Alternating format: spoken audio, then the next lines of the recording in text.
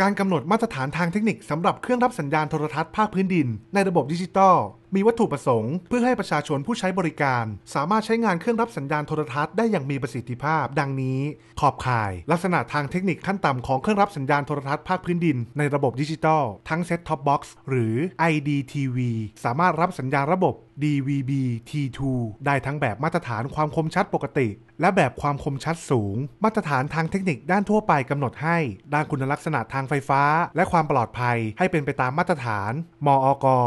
1135ขีด2536 ด้านความเข้ากันได้ทางแม่เหล็กไฟฟ้า ให้เป็นไปตามมาตรฐาน CISPR 13หรือมอก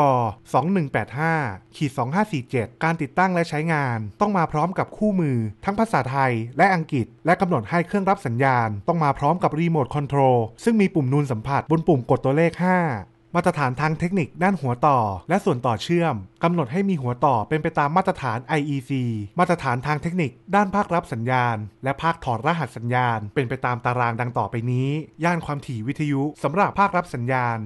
470 ถึง 860 เมกะเฮิรตซ์ความกว้างช่องสัญญาณแบนด์วิดต์8เมกะเฮิรตซ์ตัวเลขแสดงสัญญาณรบกวน Noise Figure ไม่เกิน 6 dB ความไวในการรับสัญญาณ Sensitivity น้อยกว่าลบ78.3 dBm การปรับเลื่อนความถี่ช่องสัญญาณ Channel Offset รองรับ 125 GHz รองรับบวกลบ 125 GHz และกำหนดวิธีการทำงานของภาครับสัญญาณ และภาคถอดรหัสสัญญาณ เป็นตามมาตรฐาน ETSI EN 302 755 ต้องรองรับ Single PLP Multiple PLP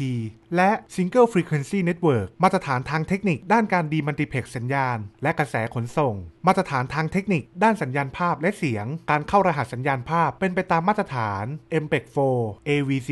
H264 แบบความคมชัดปกติ 576i และความคมชัดสูง 1080i หรือ 720p รวมทั้งมาตรฐานการเข้ารหัสสัญญาณเสียงแบบสเตอริโอ MPEG 4 HE AAC V2 มาตรฐานทางเทคนิค ด้านการประมวลผล และแสดงผลข้อมูล ต้องมีคุณสมบัติเทียบเท่า หรือดีกว่าดังต่อไปนี้ หน่วยความจำแบบ DD-RAM ที่มีขนาดไม่น้อยกว่า 64 เมกะไบต์ หน่วยความจำแบบ Flash ที่มีขนาดไม่น้อยกว่า 8 เมกะไบต์ หน่วยประมวลผลที่มีความเร็วไม่น้อยกว่า 300 เมกะเฮิรตซ์ ภาษาแสดงผลเมนูบนจอภาพเป็นภาษาไทย และภาษาอังกฤษ ระบบคำบรรยายใต้ภาพ รองรับการแสดงผลหลายภาษา รองรับผังรายการอิเล็กทรอนิกส์และจะต้องสามารถเก็บ และแสดงผลผังรายการอิเล็กทรอนิกส์ล่วงหน้าได้ไม่น้อยกว่า 7 วัน สามารถแสดงระดับความแรง และคุณภาพของสัญญาณ ตลอดจนรองรับการปรับปรุงซอฟต์แวร์ให้เป็นปัจจุบันตามมาตรฐาน ETSI